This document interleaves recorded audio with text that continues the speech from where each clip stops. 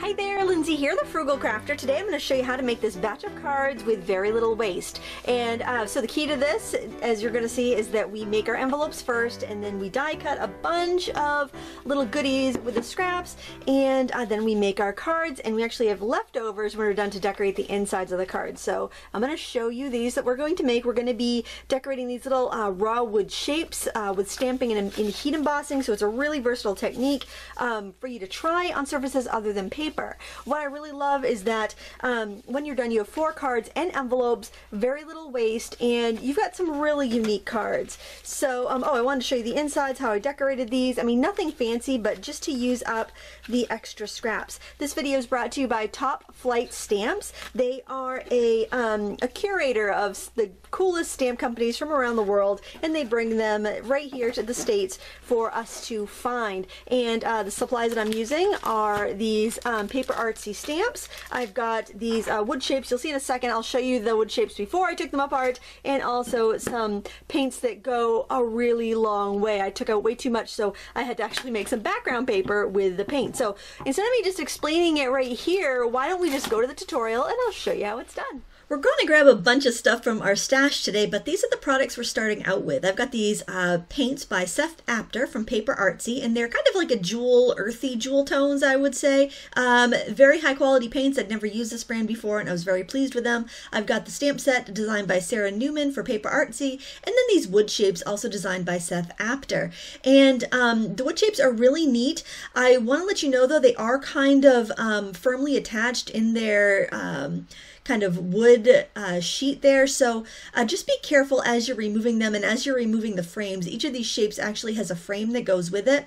If you happen to uh, break the frame, don't worry, you can use a little white glue or wood glue to uh, put it back together. So, you know, just be kind of gentle while you're taking them out of the frame, but then um, if you do break it, it's easy to repair.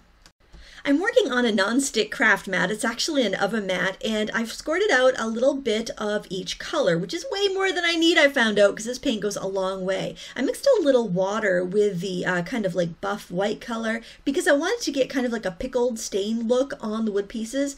Um, and I wanted a little color on there, so here I'm just picking up a little bit of color and just kind of gently, softly brushing it over the uh, whitewash that I put on there. And um, you can really just pick up a tiny little bit of whatever color you want to get a little bit of staining or bruising on the wood. Um, I cannot stress enough that you do not need to put this much paint out. And um, because I took so much out, it actually was a happy accident because I ended up making some backgrounds, which you'll see in a second. I did all the pieces in the same manner. I saved the frames for another project. Uh, the only thing I want to caution you is to not use more than um, three colors together, meaning the white as your first, your base color, and then um, just no more than two of the other colors. Otherwise, you could end up with mud because if you mix red, yellow, and blue together, they do make brown or black. So just kind of keep that in mind. If you want, you can paint the backs, but I realized that I really didn't need to for this card making project. But if you wanted to make like an ornament or a gift tag, then go ahead give a coat of paint to the backs as well.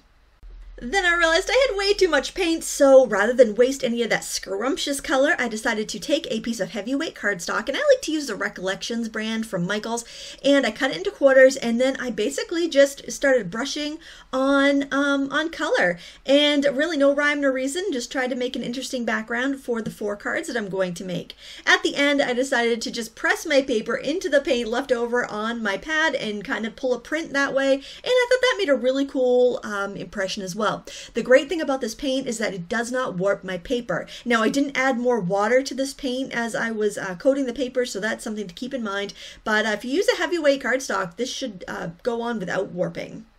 While my wood shapes and papers dried, I got some other elements ready for crafting. Here you can see the dried wood shapes and the pattern papers. Aren't they pretty? And they have this beautiful thick velvety texture, which really gives a nice weight and feel to the cards. So I took some um, scrapbook paper. I just looked at the colors that I painted and found four sheets that matched pretty well, and I trimmed them to 8 by 8 Then out of the scraps, I took some old die cuts that I'd had, kind of organic shapes, and cut um, some shapes out of them.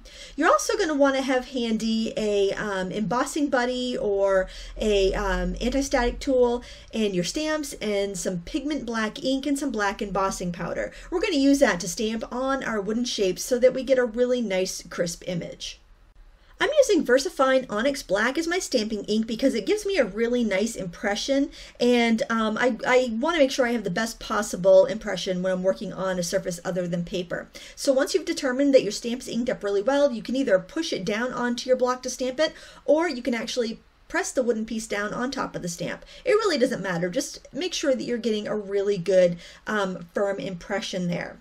Don't worry if the image isn't absolutely dark and perfect because the embossing powder is going to cling to that and you're going to get a really good result. You have to make sure that the wooden shapes are completely dry before you attempt to emboss because if they're not, um, that embossing powder is going to stick to any damp paint that is still there. So before I even began off camera, I actually blasted it with my heat tool just just to make sure that there was no moisture left on the surface. So then I sprinkled on my black embossing powder, and I'm just using one of those pieces of paper I cut from my uh, envelope as my uh, kind of catch-all uh, paper. And then I'm going to heat it with a heat tool, and it's going to take about a minute. Just be careful you don't burn your fingers because you are holding that really close to the uh, stamped image.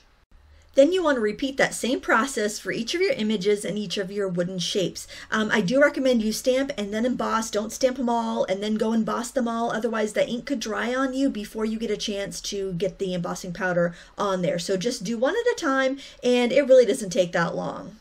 They really look so pretty and professional once they're all shiny and embossed. And this would be a great technique to make Christmas ornaments with. So file that away um, when it comes to time to do some Christmas crafting. So I thought it'd be nice to add a little more color to my images here. So I am using watercolor crayons and a small brush to kind of paint in the um, some of the colored areas, almost like you're tinting a black and white photo. Um, I like the, the watercolor crayons because they're water soluble. They layer over this chalk paint really well and um, you can wipe it right off the embossing if you get too much on there. And uh, they're semi-opaque, so they uh, they cover well, but they don't obscure everything. Like if you went over with more acrylic paint, it might just obscure everything. I'm using a combination of Lyra watercolor crayons and also some metallic Caran d'Ache watercolor crayons, but you can use whatever you have. In fact, water-soluble oil pastels will also work just as well. These wooden shapes had lots of cool holes and notches drilled into them, so I thought it would be a great opportunity to embellish them with some wire and beads. And this was just an inexpensive kit of wire and beads I picked up at the craft store many years ago. Um, and I would just suggest that you don't get overwhelmed. Uh, don't dig out every bead you have and try to find the perfect bead. Just find a few and have fun with it. So I'm starting off by using my needle nose pliers to make a little spiral at the end, and that's going to keep it from pulling through through one of the holes in the uh, first image I'm working with. And that's also going to keep somebody from getting um, poked with it. And it will hopefully keep it from you know catching in mail machinery if it's mailed. Although i would probably recommend that you hand deliver these because they are so bulky or that you pop the whole thing in a padded mailer before you go to mail it and then I just find a few beads that look uh, pretty, like I'm using shades of blue here, but you can use whatever you like, and just feeding it in and out of the holes on the uh, little wood shape, and that's really all there is to it, and you want to repeat that for each of the designs that you plan to use.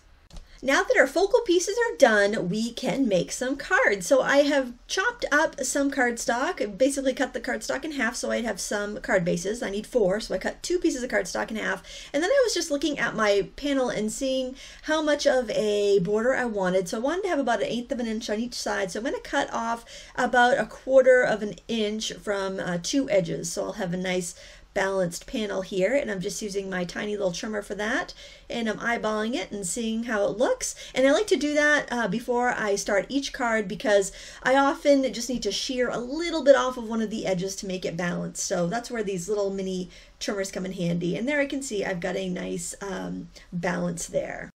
Then I basically started rifling through my die cuts and deciding what I wanted to put on the card. And I like this like honeycomb type strip uh, because it's just a really nice um, backdrop. And then I had this other one that just had little polka dots on it. And I thought that would be nice kind of layered over. I like to cluster elements as much as I can. Um, it just seems to uh, make a design look really nice.